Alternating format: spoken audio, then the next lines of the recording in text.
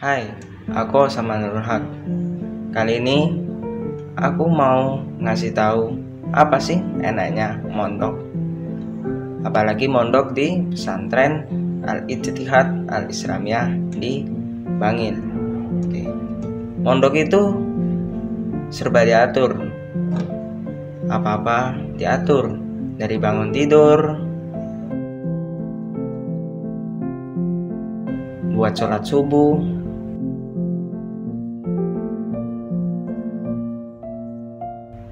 dari sekolah, makan, semuanya serba diatur. Oke.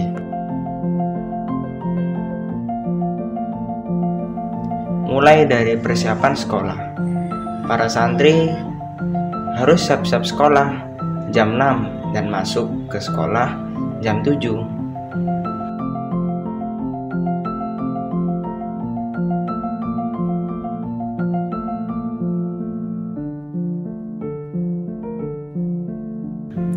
Di sekolah, para santri itu belajar seperti biasanya. Mereka diajari oleh para asatid-asatid yang berilmu. Dan para ustadz-ustadz di sini juga baik banget, ramah-ramah. Mereka kalau mengajar sangat mudah dipahami.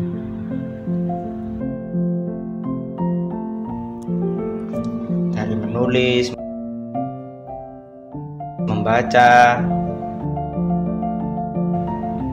dan penjelasan dari para asatid.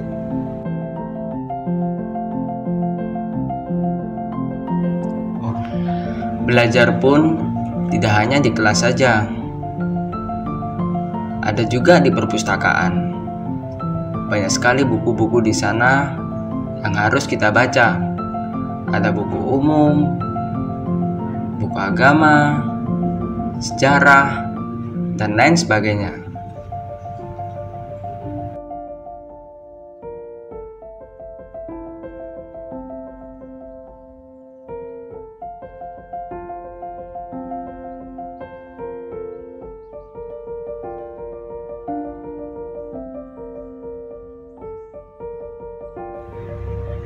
Dan santri pun tidak hanya diajarkan untuk belajar saja.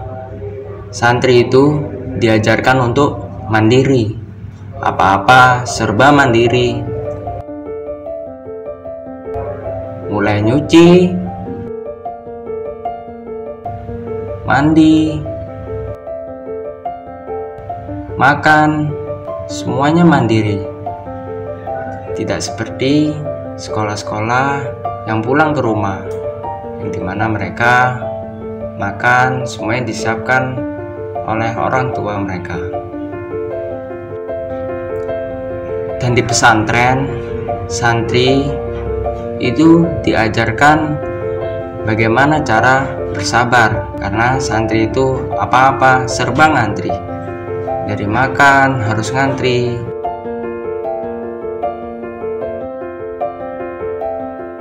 Mandi ngantri. Semuanya serba ngantri tidak lupa santri itu harus disiplin. Dari disiplin waktu disiplin kerapian semuanya harus disiplin. Santri harus bisa untuk memanage waktu.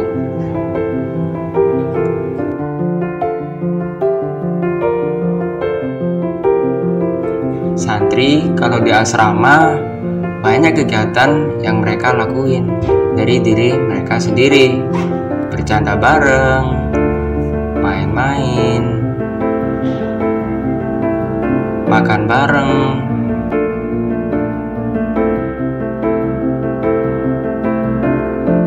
Belajar bareng. Semuanya serba bareng.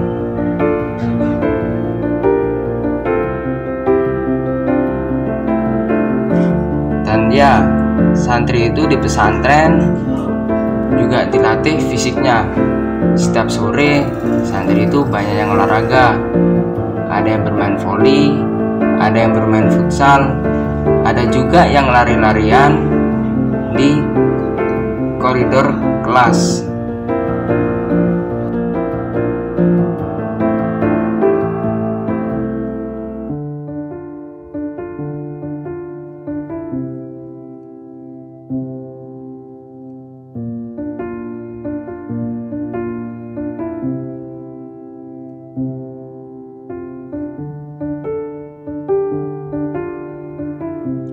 Di masjid, santri nggak cuma sholat, tapi ada kegiatan yang lain, kayak kultum,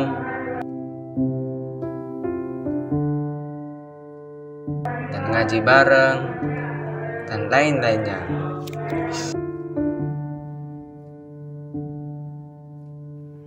Nah, jadi gimana? Seru nggak jadi santri